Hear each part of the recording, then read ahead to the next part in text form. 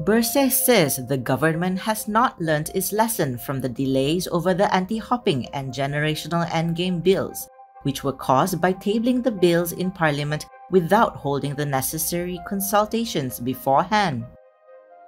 Expressing concern over a similar situation with the political funding bill, which Law Minister Wan Junaidi Tuanku Jaafar had said would be fast-tracked, Bersih chief Thomas Fann said civil society groups had yet to take a look at it. Fann expected quite a bit of debate from MPs and queries from civil society when the bill is eventually tabled for first reading in the Dewan Rakyat. So, in terms of going forward into passing the bill, you do you expect like resistance, if at all? There is probably a high probability it will go the way of the anti-hopping law and uh, even the uh, generation end uh, game uh, when it comes to cigarettes as well, uh, it will be referred to a select committee for fine tuning and feedbacks before it is tabled again. Fann said the public should view the bill beforehand so that highly valuable feedback could be considered before the legislation is tabled.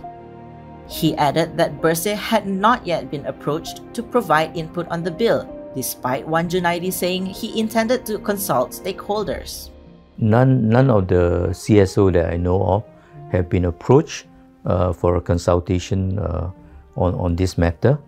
Uh, so uh, so I expect that uh, there will be uh, important areas that they overlook.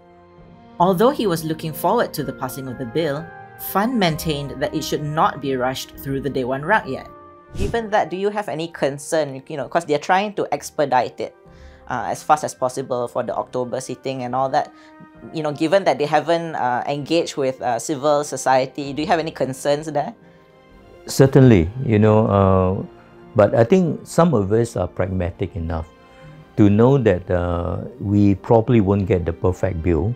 But if it's something that is uh, 70%, 80% to what we think is a good bill, we are prepared to support it.